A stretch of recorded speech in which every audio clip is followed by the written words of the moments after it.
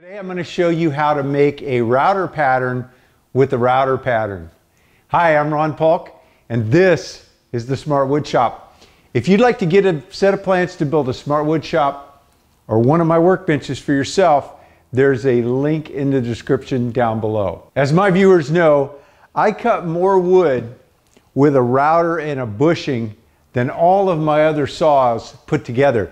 I do that because it gives me that CNC level quality, but it gives me the flexibility and the portability that I need from a router. To cut a pattern, I want to make it very precise because I'm going to use it to make the same cut over and over again. So if I don't do it right, I'm going to get many copies of the wrong thing. Sometimes when, and most of the time when I make a pattern, I will use uh, my table saw, my track saw, uh, I'll use a drill and hole saw to make the pattern, traditional tools. Occasionally though, I need to make some cuts that those tools just don't do very well. And this is a good example. First, I'm gonna take the time to lay everything out.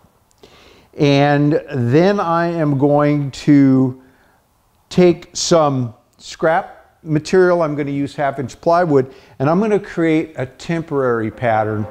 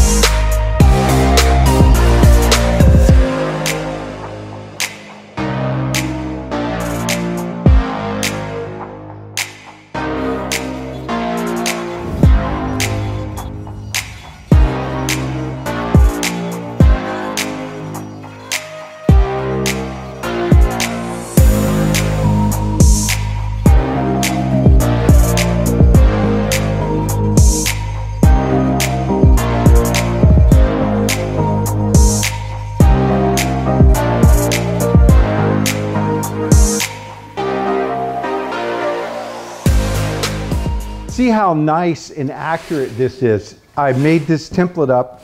There's an outside and an inside, and so I could make the cut one way and then come over and flip it and get the mirror image and everything is identical on both sides.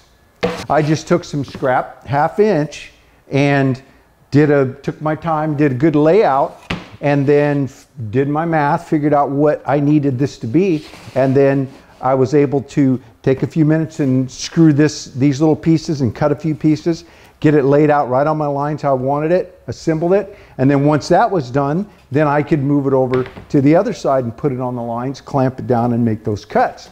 And now I'm done with this. I, I don't need this anymore. I'll take it apart and throw the little pieces of wood in my, uh, in my recycle bin and uh, hang on to this. So if you've got a router and you haven't got a bushing for it yet, you know, five, six bucks, you get a bushing and you can do this kind of stuff and get stuff that looks like it was cut on the CNC machine, but you get to make the sawdust yourself. It's a lot more fun. And this project that I'm working on is really cool. It's, well, if you want to find out, you need to give me a thumbs up and subscribe and make sure you ring the bell so you know when I put up a new video.